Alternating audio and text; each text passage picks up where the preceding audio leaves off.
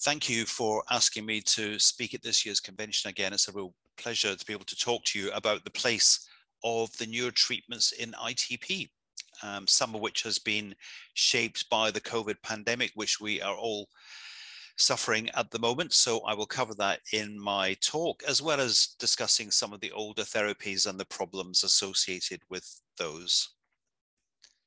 These are my disclosures. So with ITP, what would be the ideal situation for ITP or any disease, in fact, for that matter? Well, we'd identify people who really need treatment to avoid treating those who do not. We would discuss the management with the patient. We would select treatments which have high efficacy and low toxicity.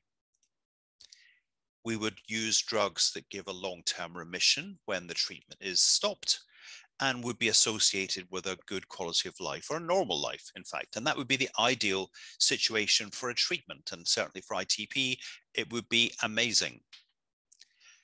And if we were designing a treatment, the ideal treatment for ITP, what would it look like? Well, it would work for everyone. It would have no side effects it would give you stable control of the platelet count and the patients would regain a normal life and forget about their ITP. So this would be the ideal perfect treatment for ITP. But the problem is that there are no medicines in the world which can do this. But some drugs, if you look at the TPO receptor agonists, eltrombopag and romiplostim, they do come pretty close to this actually. They are at least 80% effective often higher. They have very few side effects and they are associated with a good quality of life. And you'll see that from the new consensus document. We have a quality of life section where we discuss this in both children and adults. Using these drugs gives you a good quality of life compared to the old fashioned type drugs that we used to use. So the old drugs that we used before the TPOs became available were not licensed for ITP. They were never designed for ITP, but they were better than nothing because that's all we had. And I'm talking about steroids. I'm talking about immune suppressants like mycophenolate, azathioprine, cyclosporin, rituximab, we've been using for a long time, not approved for ITP, dapsone, danazol, and other drugs. These were drugs that we had to use because we had to do something and nobody had developed a drug for ITP until the TPOs came along. So with the older treatments, we did suspect for a long time, although we had no readings, no data, we suspected patients were unhappy with the old drugs. But there was a study conducted by Novartis called the IWISH study, which is the World Impact Survey of ITP, where they sent questionnaires out to patients and healthcare professionals. And the patients clearly were unhappy with things like corticosteroids, because of all their side effects. And many of the treatments that we used had side effects for lots of patients. And the real revelation, or maybe it's not so much of a revelation, is that the doctors did not really appreciate how much the old drugs interfered with the patient's quality of life. So that was very useful information to have, and it shaped what we do now, in fact. So the old treatment goals for ITP, we always have a goal in mind with a disease. We're either trying to cure it or fix a broken bone or whatever. But the treatment goals for ITP, the old ones, we were trying to make people's platelet count normal and obviously avoid bleeding. And when it came to things like side effects and quality of life, we didn't really give it a lot of thought. We didn't give it nearly enough thought, in fact. But the new goals of treatment, and this is outlined in the consensus document, which we've published, and also the American guidelines, they're much more realistic. They're, we're trying to prevent bleeding. We're trying to achieve a safe platelet count, something around 20 to 30 times 10 to the 9 per litre. Not normal count, just a safe count. We're trying to avoid drugs that have toxicity and we're trying to maximize quality of life. So that really emphasizes the the move away from the old toxic therapies towards the newer therapies, which are much nicer to take.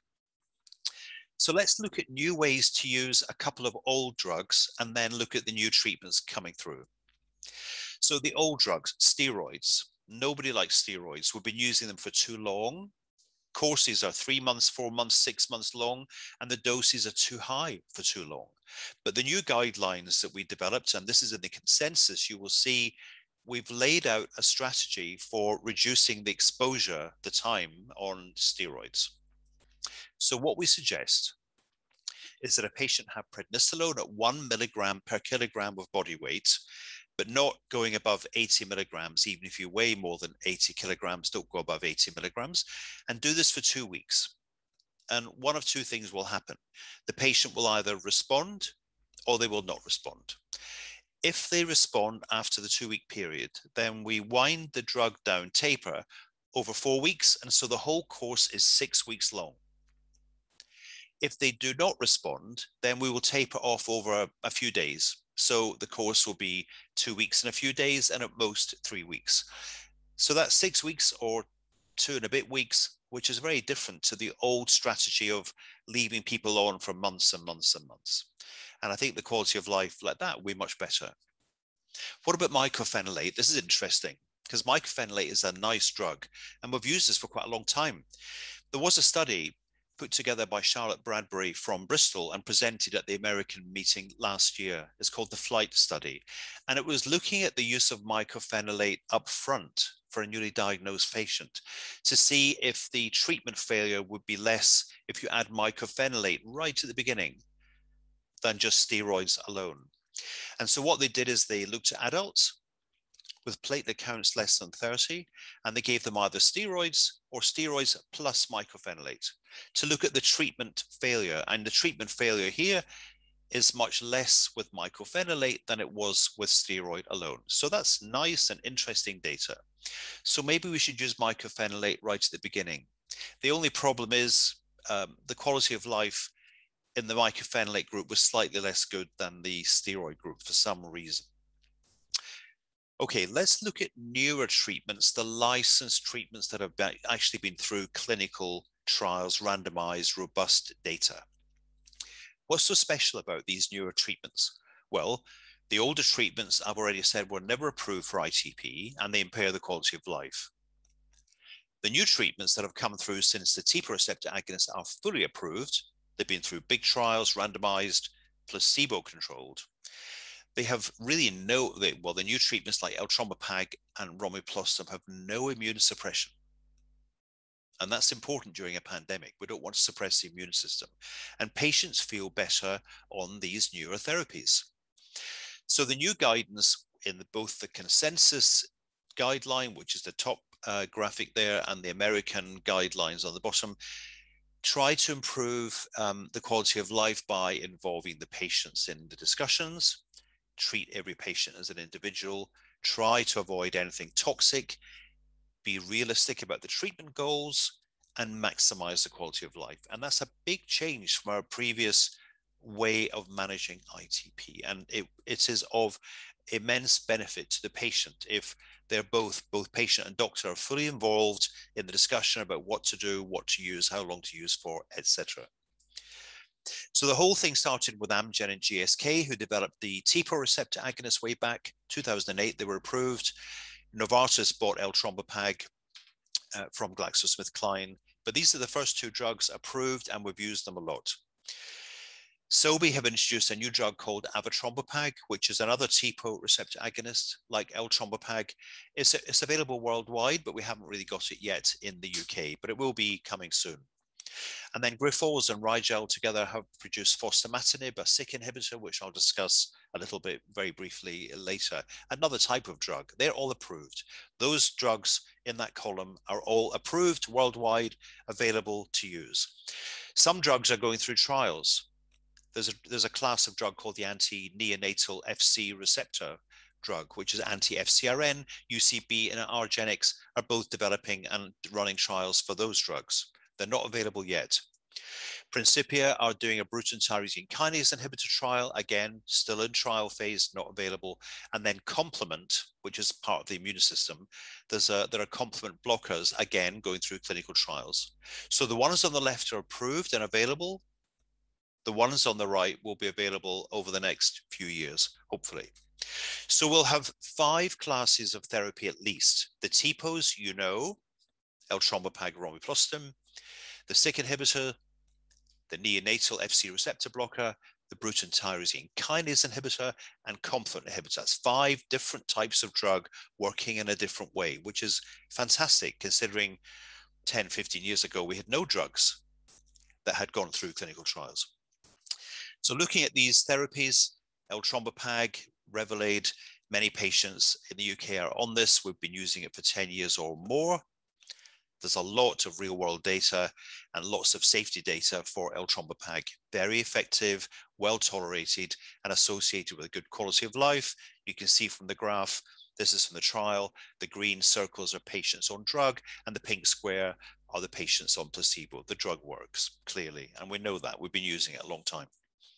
Romiplostim, very similar, more than 10 years use, lots of real world data, very effective therapies, well tolerated and good quality of life. And again, the same kind of graph.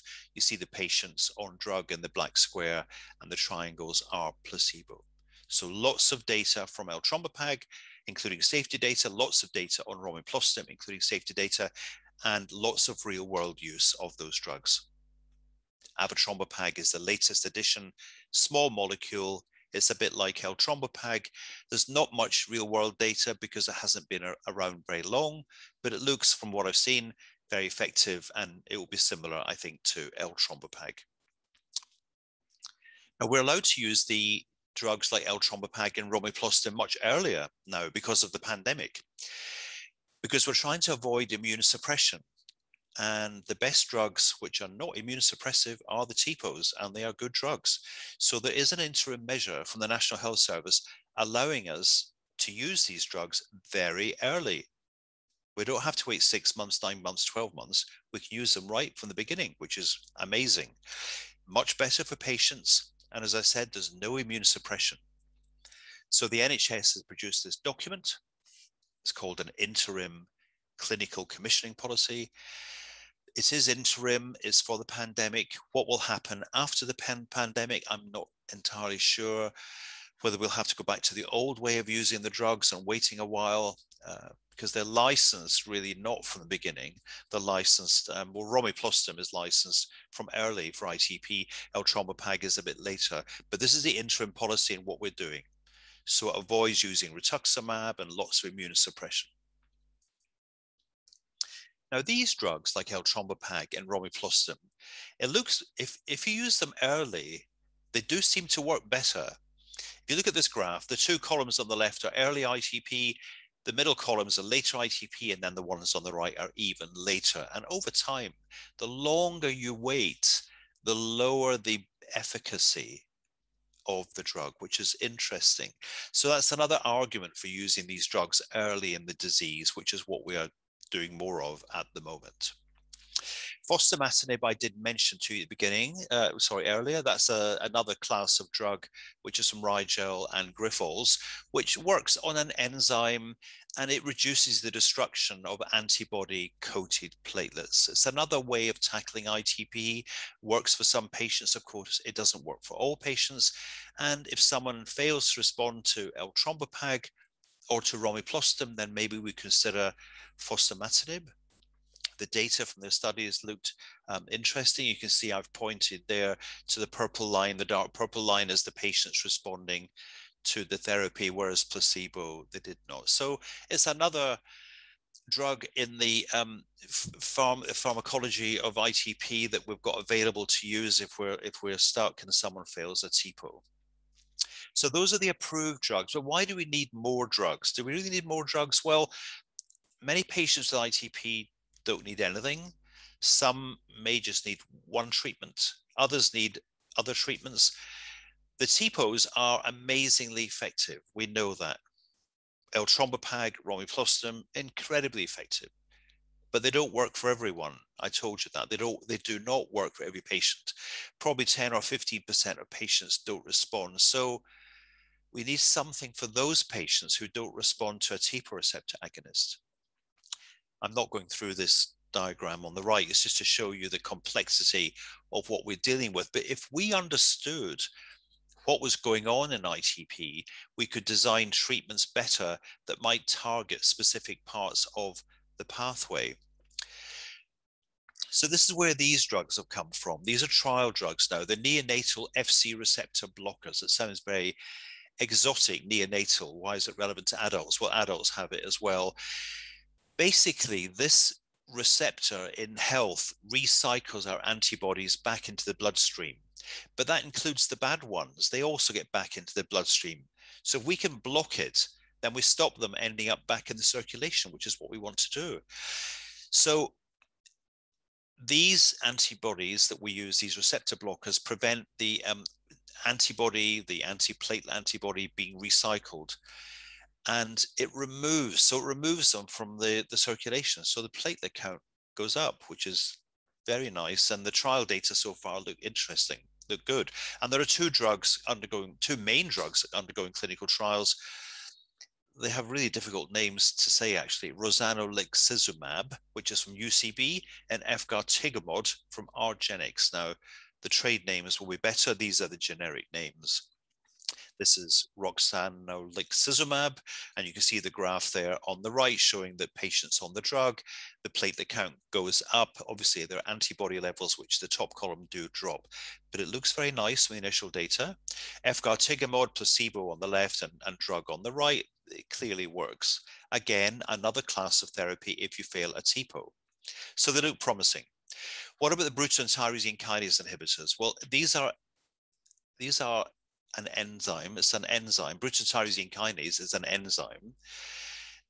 And it works in a complicated way. But if we block it, if we block this enzyme, then antibody levels, antiplatelet antibody levels fall and platelet destruction drops.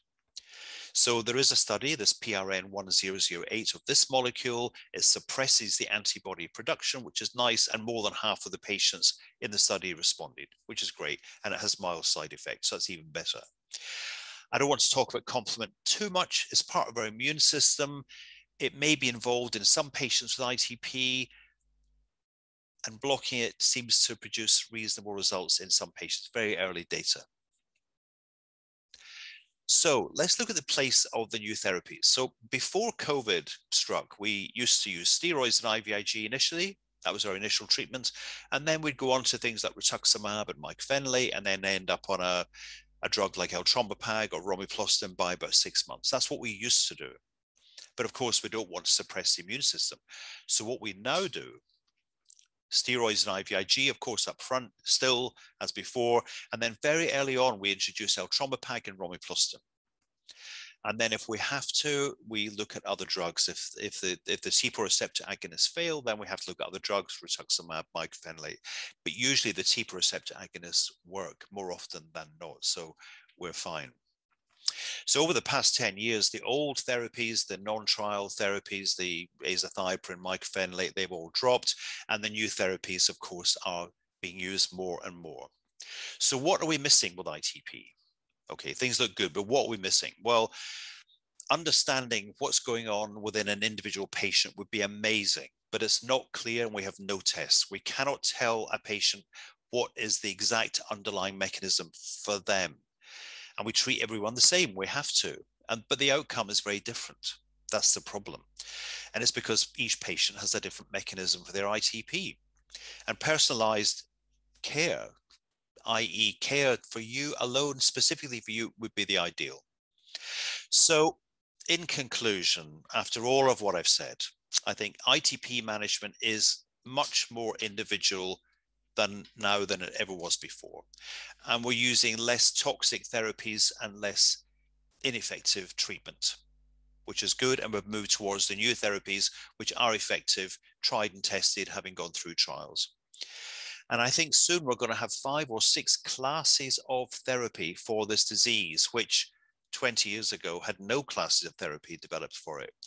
And the quality of life for patients with ITP will get even better. So watch this space, and next year it will be even more exciting. Thank you for listening.